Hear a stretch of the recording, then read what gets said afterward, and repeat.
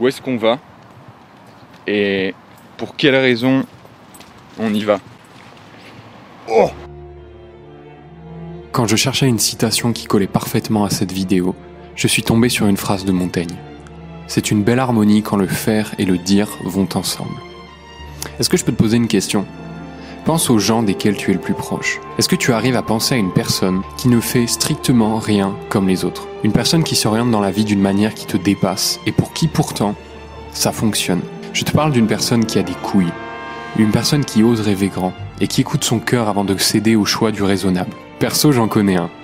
Son nom c'est Noah et depuis qu'on s'est rencontrés, non seulement il est devenu un des amis avec qui j'apprécie le plus passer du temps, mais il n'a pas arrêté de se lancer des défis de vie à envergure totalement cosmique. Quelques exemples? C'est lui le gars qui voulait que je le filme il y a deux ans pendant qu'il skiait à Lisbonne en plein été. C'est lui que j'ai coaché trois mois en storytelling vidéo pendant qu'il entreprenait un périple de Paris à Lisbonne à pied et qui a sorti une mini-série de 8 épisodes qui documentent son voyage. Et aujourd'hui, je t'emmène sur les traces de son tout dernier challenge. Le challenge de vivre 30 jours en marge de la société, sans argent et sans maison muni d'un simple hamac, de son téléphone et de son ingéniosité pour ne pas crever. Où Noah puisse-t-il le courage de se lancer de tels défis? Pourquoi il le fait? Et quel sens il y trouve? C'est ce que je te propose de découvrir aujourd'hui.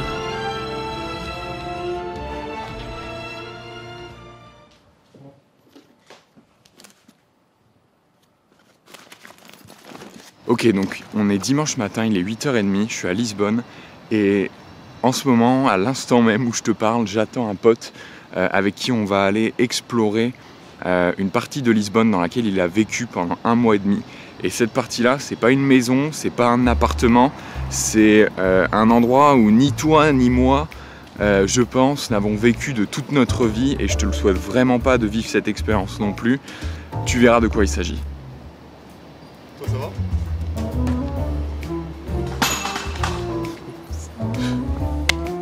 Forme Ouais, ça va et toi Je crois que c'est la première fois que je te vois aussi tôt, non Oh La première question, c'est facile, on va à Monsanto.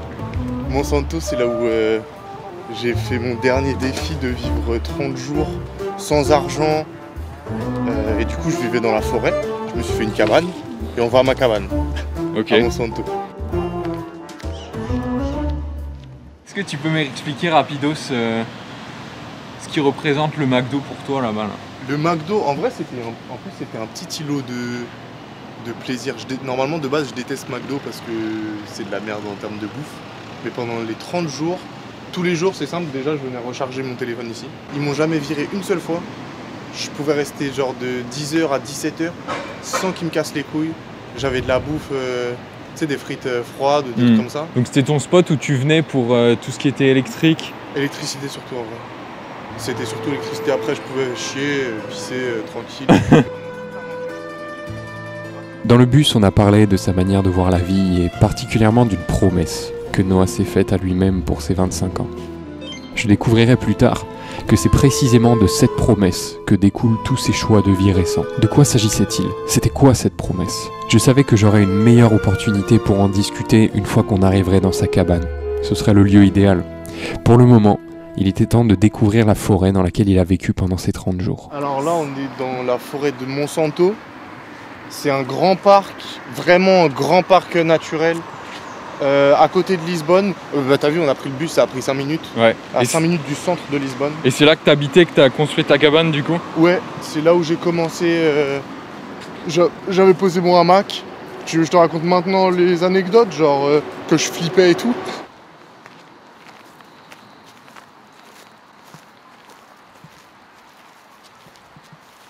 Est-ce que t'as senti une plus grande connexion avec la nature? Je me dis, tu vois, vivre dans la forêt ou quoi, ça peut déclencher ça, ou alors je fantasme complètement et c'est mes délires méta, tu vois. Est-ce que t'as senti une sorte de, de connexion spirituelle à la nature, tu vois? Je l'ai pas senti en vrai. Euh, désolé de niquer tout.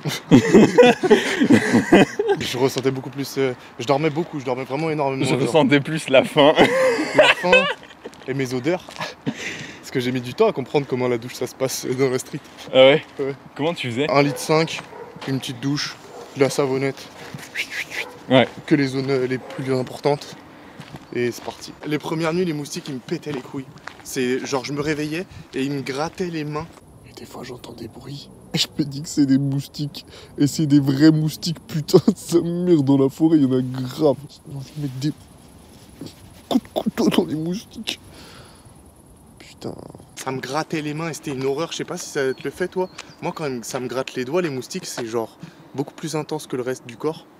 Et ça me. Ouais, ouais, ouais. Ça m'écœure. Ouais, c'est chiant. J'avais que les mains et le, le visage qui étaient euh, découverts. Du coup, les premières nuits, c'était une horreur.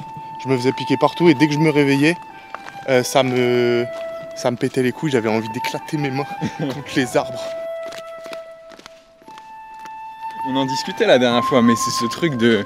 T'as deux moyens d'être euh, riche et heureux quelque part. Ouais. C'est soit t'as un, un putain de haut standard de ressources et de confort, soit tu baisses tes standards Les standards. et Soit tu te deux. contentes de peu Ce en que fait. Tu disais en vrai, c'est que tu peux faire les deux. Tu peux travailler les deux. Et moi, je commence par le baisser les standards. Tu commences par le bas, ouais, mais c'est- c'est c'est pas con en vrai. C'est une approche de la vie intéressante quand y penses. Au lieu de faire des efforts pour augmenter ta qualité de vie, tu fais des stress tests pour savoir de quoi et combien tu as réellement besoin pour être confortable. Ça te donne aussi le courage et la confiance d'être déjà passé par le pire scénario possible quelque part. Maintenant, c'est vrai que dans le cas de Noah, par contre, il y a eu des moments compliqués. Il a plus que 3 jours euh, pendant, les, pendant juin, pendant les 30 jours du, du défi.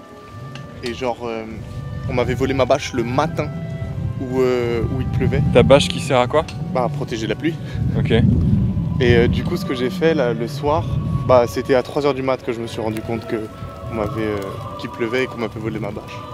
Du coup, je suis venu ici à ce restaurant-là. J'ai emprunté un parasol qui était à l'arrière de la boutique. Ouais. Ça avait l'air d'être un parasol euh, qui, qui était abîmé, du coup, ils n'allaient pas l'utiliser. Donc je l'ai pris, j'étais avec mon gros parasol sous le bras en allant vers là-bas. Et là, il y a une foule de cyclistes qui passent. Ils m'éclairent tous avec leurs phares. Et genre, j'avais tous les trucs tournés vers moi.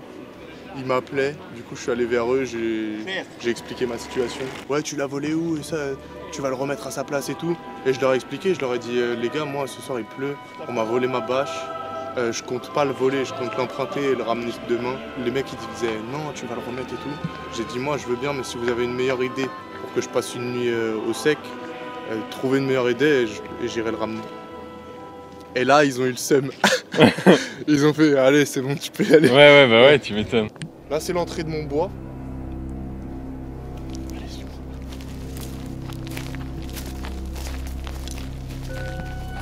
Le paillasson.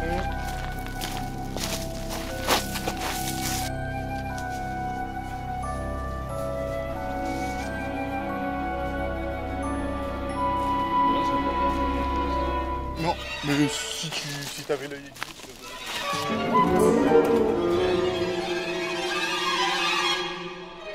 Ça, euh, c'est ça. Non, je rigole, t'es déçu de ouf. Ça se ta tête. T'aurais dû filmer ta tête, t'étais dégoûté. non, voilà, il est là. Au moment où on est arrivé dans la cabane, je t'avoue que j'étais saisi. J'avais suivi les aventures de Noah au fur et à mesure qu'il les documentait sur les réseaux. Je l'avais vu ramasser les branches et les troncs pour construire son abri.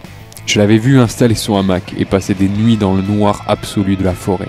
Mais il y a une vraie différence entre voir que ton pote vit tout ça sur les écrans et rentrer dans la carte postale, si je peux dire, et s'imaginer comment c'était de vivre dans cet abri primitif, totalement exposé aux éléments. C'est du bon bois, ça. Ça, c'est du très bon bois, du solide. Putain, c'est ouf. T'as construit tout ça à la main? Euh, non, j'ai aussi cuisiné mes pieds. Non, ouais, à la main. Ça, c'est ma porte d'entrée. Fermé, ouvert. Fermé, ouvert. C'est un peu ma fierté. La salle à manger, la fenêtre. Pour, euh, pour laisser aérer un peu. Elle est abîmée. Normalement, ça c'était plus haut. Là, il y a des bouts de verre. C'est euh, une bouteille de vinaigre de cidre que j'avais trouvé hum, dans une auberge de jeunesse, gratuit du coup. Et c'était contre les moustiques. En gros, c'est un anti-moustique. Tu t'en mets sur les mains. Ça pue tellement que les moustiques ils viennent pas. Et euh, le soir, on m'a volé ma bâche, ma la moustique cassée. Est-ce que tu peux me parler de euh, la décision que tu as prise euh, il y a deux ans où tu t'es dit jusqu'à 30 piges Tu peux me raconter ça? Euh, J'avais 25 ans. À à 25 ans, j'étais, je commençais vraiment les trucs de, d'entrepreneuriat et tu de, un peu entre développement personnel et entrepreneuriat. Quelle voie je vais choisir? Qu'est-ce que je veux Où est-ce que je veux être dans 5 ans? Où est-ce que je veux être dans 25 ans? Et du coup, comme j'avais 25 ans, je me suis dit, vas-y, à 30 ans, je veux pas être toujours dans ce. ne pas savoir ce que je veux faire de ma vie, etc. Du coup, j'ai choisi, je me suis dit, je prends la voie qui m'a le plus, qui m'a le plus euh, séduit que je connais quand j'avais 25 ans à l'époque, et c'était tout ce qui était création, les vidéos et tout. Et je me forme à fond pendant 5 ans sur ça, euh, et ça devient ma priorité, quitte à être en galère. Les trucs qui sont cool de, faire quand t'es jeune, donc euh, toutes ces aventures-là, d'être en galère, c'est correct quand t'es jeune, mais après, au-delà de 30 ans, ça devient plus un problème euh, qu'un challenge. Ouais. T'as pas eu peur à un moment de te dire, ok, mais si je me retrouve vraiment en galère, t'as toujours eu cette confiance en toi que bah, tu trouveras une solution ou quoi, tu vois Bon, déjà, il y a la confiance de ouf qui est liée à la famille. La famille et les proches et tous mes amis euh, avec qui je, que je considère comme de la famille, tous, ils, m'aideraient dans ces cas-là. Ils m'aideraient pas sur 5 ans, ils m'aideraient à m'en sortir, donc ça prendrait rapide. Donc il y a la famille, l'éducation aussi, au final, avec l'éducation que j'ai eue.